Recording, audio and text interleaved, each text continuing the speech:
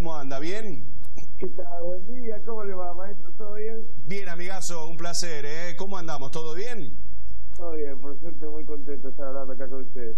Gonzo Bizán es uno de los Like Brothers, que obviamente este dúo de stand-up junto con Grego Roselo van a estar presentándose en el Teatro Multimedia del Círculo ahora, la semana que viene, el día 13. Y la verdad, negro, yo quiero preguntarte lo siguiente. ¿Qué les pasa a las minas con ustedes? Porque es insoportable la cantidad de entradas que están pidiendo todas para ir a presenciar el show de ustedes. Eh, bueno, qué suerte, ¿no? Qué alegría.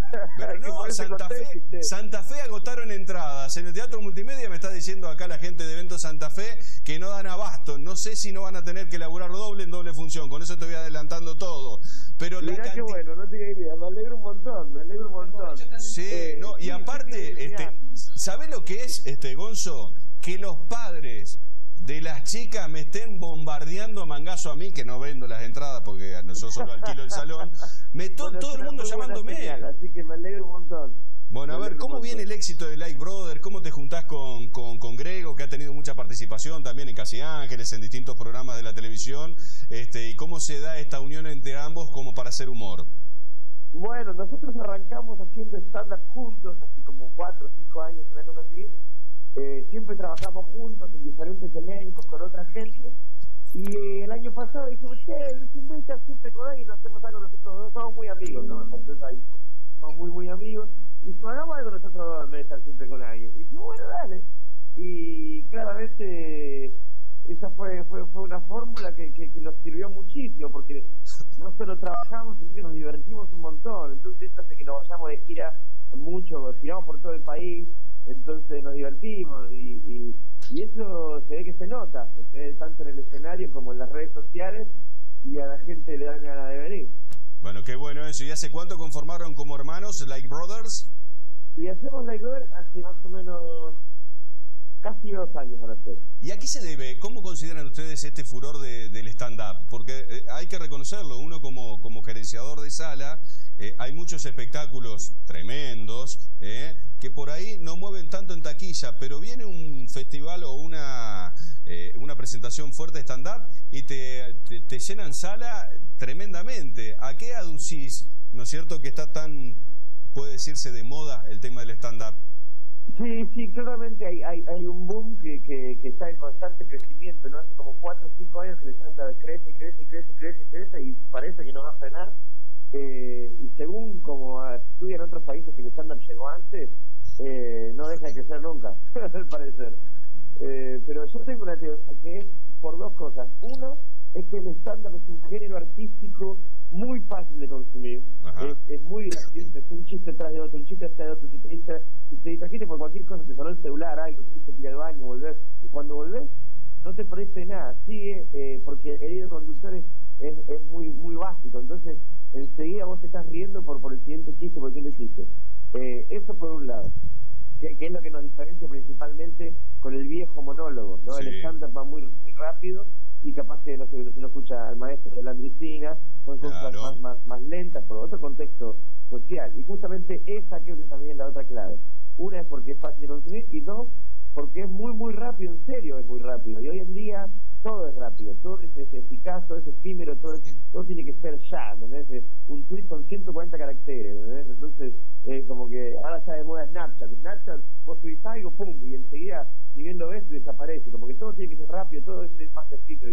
Y, el stand-up es eso, es muy, muy rápido, es una cosa atrás de la otra. Como que está. Y, y- eh, y el, que se quedó en el, el que se quedó en el camino no enganchó uno, ya, ya está en el otro paso, digamos, ¿no? claro, A lo mejor te reí con Eh, delay, te reí con delay porque te acordaste lo que te acordaste lo que dijiste hace cinco minutos atrás y ahí recién caí y decís, uy, pumba. Y a veces, bueno, se genera una cosa de, de, de una risa que, que, que se amontona así. No es que tampoco te perdés el chiste por reírte, no. Claro. Pero, tipo, como por ejemplo, pa- dice la gente que pasaba con Pinti. Yo nunca lo vi a Pinti en vivo, pero Sí, dicen que un poco bueno, pasaba el- eso. el- el- el primer gran quitaba stand- las risas y no te podías reír. Acá Ah, no, no. es tan, tan así, pero, pero sí se acumula. Entonces vos estás en constante, en constante sonrisa y, y, riéndote a cada rato. Entonces eso hace que, la pases mejor que si vas a ver una obra dramática, lenta, eh, que sea densa, que sea mucho más profunda, que capaz este, es más difícil de, digerir eso. Entonces no dan ganas de ir tanto. Eh, Gonzo, aquí la tenemos a Araceli Minetti, nuestra compañera, que también quiere hacerte unas consultas. A ver. Buen día, Gonzalo. ¿Qué tal, Araceli? Quería preguntarte con respecto, bueno, Horacio mencionaba que eh, muchas chicas, mucho público joven eh, que se acerca a ver este espectáculo que presentan ustedes y quería preguntarte qué relación puede tener esto también con el fenómeno de YouTube, porque ustedes eh, suben sus videos también a esta, a esta, red. Sí, claro. bueno, nosotros usamos usamos todas las redes sociales, ¿no? Nosotros somos comediantes y, las redes sociales para nosotros son una plataforma que, que, que nos expone a la gente, ¿no?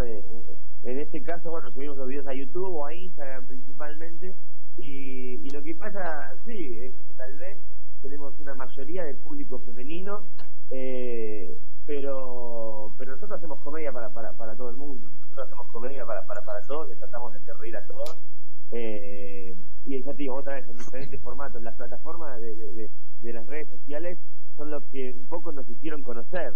Eh, le dijeron al mundo, che, mirá, están estos dos tuitos que se hacen tristes. Ah, qué bueno. Entonces a partir de ahí eh, la gente se acercó al teatro. Así que fue, nos sirvió así. Pero nosotros somos comediantes y tratamos de ser graciosos todos lados todo el tiempo.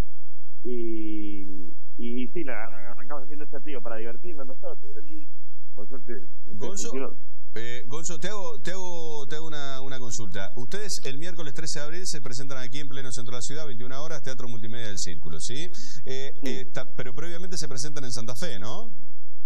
Eh, creo que es al revés. El 13, miércoles 13 estamos en Paraná y, el jueves 14 en Santa Fe. Correcto, empiezan en Paraná y luego se van a Santa Fe porque, bueno, este canal va para la gran parte de Entre Ríos y también la, la vecina ciudad de Santa Fe. Y en ese marco queríamos también saber que algunos que no puedan estar en un lado pueden estar en el otro, ¿no? O sea que arrancan en Paraná y luego se van para Santa Fe.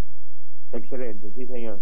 Bueno, ahí estamos gestionando a ver si ustedes llegan el día martes, eh, previo, no sé en qué horario estarían arribando a Paraná, porque nos gustaría también tenerlos presentes y hacer una charla previa en Vorterix Paraná, nuestra radio, y en ese marco, como está tan cerca del teatro, porque te, vuelvo a decir, loco, me tienen enfermo las chicas con ustedes, así nomás te lo digo. Entonces, eh, hasta estoy pensando hacerles una nota cara a cara eh, y con chicas que puedan presenciar también este, la entrevista. Eso sí, si pasa algo después, es problema tuyo y de la chica, no me en el medio. ¿está? perfecto, perfecto. Vamos todos presos sin pasar. Olvídate. Che, ¿están en pareja ambos o no?